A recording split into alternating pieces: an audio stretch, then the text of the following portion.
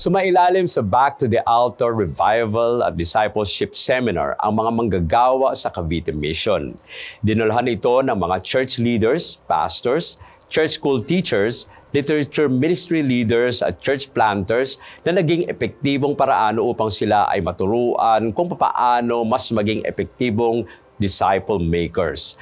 Ang mga mahalagang kaalamang kanilang natutunan Nasa Balitang May Pag-asa, hatid ni Samuel Fuentes.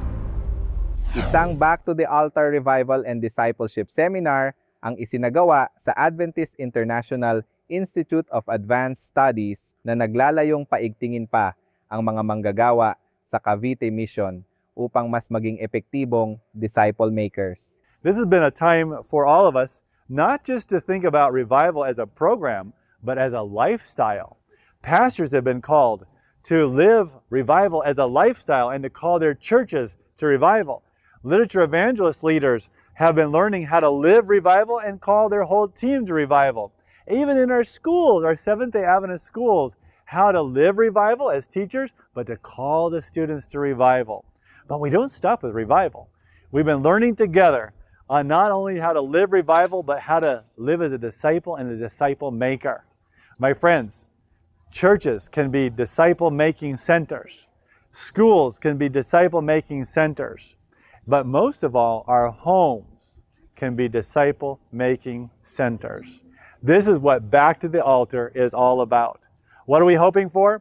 We're looking for a united front across this whole mission where homes, schools, and churches and every worker, everybody works together to live revival, call for revival, live as a disciple, and make disciples. Ito ay sa panunguna ni Pastor Don McLafferty na naging tagapagsalita sa aktibidad na ito. Dinaluhan ito ng mga workers, pastors, church school teachers, literature ministry leaders, at church planters kung saan sila ay maraming natutunan na tiyak na kanilang magagamit at maibabahagi rin naman sa iba.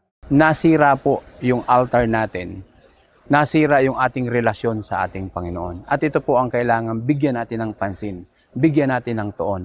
Ikinocompare ko nga ito sa isang gulong ng sasakyan na meron pong butas. The way back to the altar, ang gagawin po niya ay dadalhin tayo doon sa manggagawa at aayusin yung ating sasakyan upang sa atin pong paglilingkod, sa ating pag-travel, dire-diretso yung ating pong paglilingkod at madidisciple natin yung ating mga kapatid, yung ating pamilya, yung atin pong mga kasama sa gawain. Parang hindi ko nakita yung sarili ko na disciple maker, na dapat pala talaga nagdi-disciple ako kahit bata.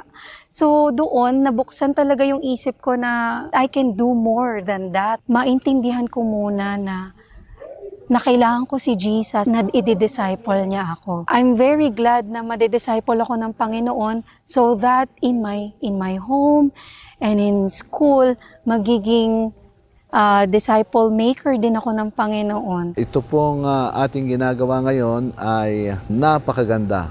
So a sort of revival na rin sa lahat ng workers, sa lahat ng mga manggagawa. And at the same time, ito ay practical way on how to do discipleship in intergenerational. And so with this, we hope na uh, matutulungan tayo na may put into practice lahat ito at lahat ng mga members natin ay blessed spiritually and uh, yung simple way how to do discipleship ay makatch up nila na maging lifestyle.